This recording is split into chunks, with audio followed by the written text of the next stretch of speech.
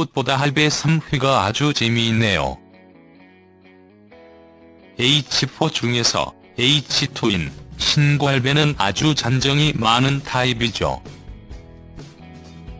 오늘도 고생하는 이서진이 이뻐 죽는 모습입니다. 어깨를 다독거리고 쓰다듬기도 하고 마침내는 볼에 뽀뽀까지 합니다.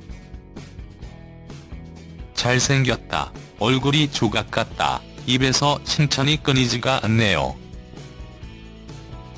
혈압을 재기 싫어하는 백일섭 할배도 직접 챙겨서 재기합니다. 동생들 건강까지 챙기는 속 깊은 할배죠.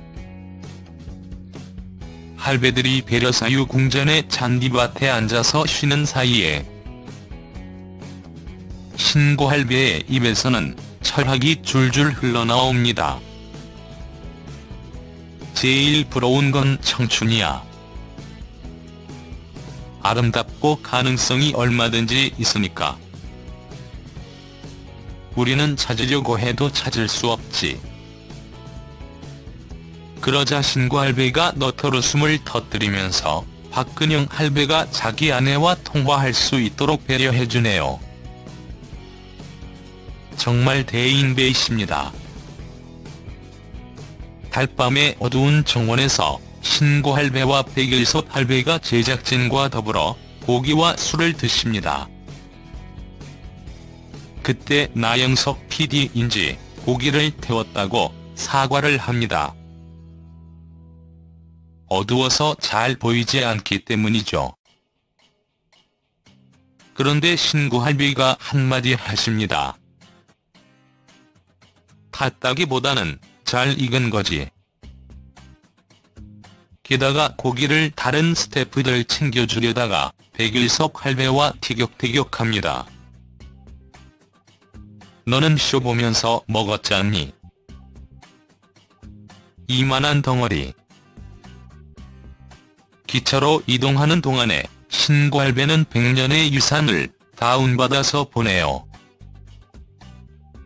비록 스태프가 다운받아 주기는 했지만 그래도 챙겨보려는 적극적인 모습이 보기 좋네요. 스트라스부르 역에 도착한 할배들은 옆에 공원에서 잠시 이서진을 기다립니다. 신고 할배가 이런 말을 하네요. 우린 도심에서 이렇게 한가하게 눕거나 선샤인 하거나 이런 데가 별로 없지. 심지어 공원에 가도 잔디밭에 들어가지 마세요 팻말이.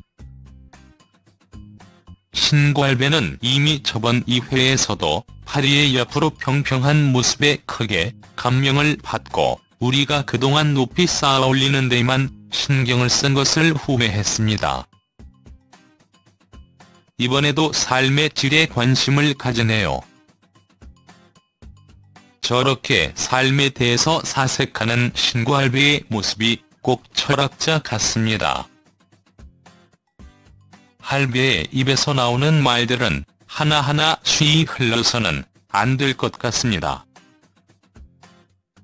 꽃보다 할배의 OST입니다.